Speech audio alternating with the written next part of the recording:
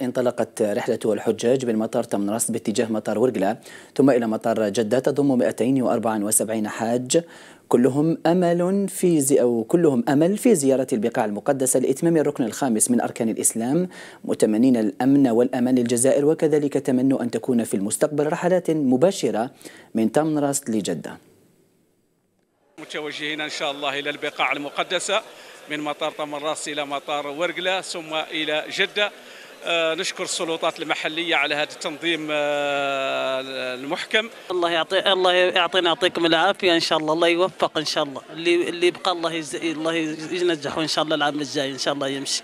الوقت متوجه للجزائر أنها تقعد في أمان وسلام فهمني ونتمنى نتمنى الدولة نتاعنا دائما تكون متوفرة لنا الإمكانيات كما هكا.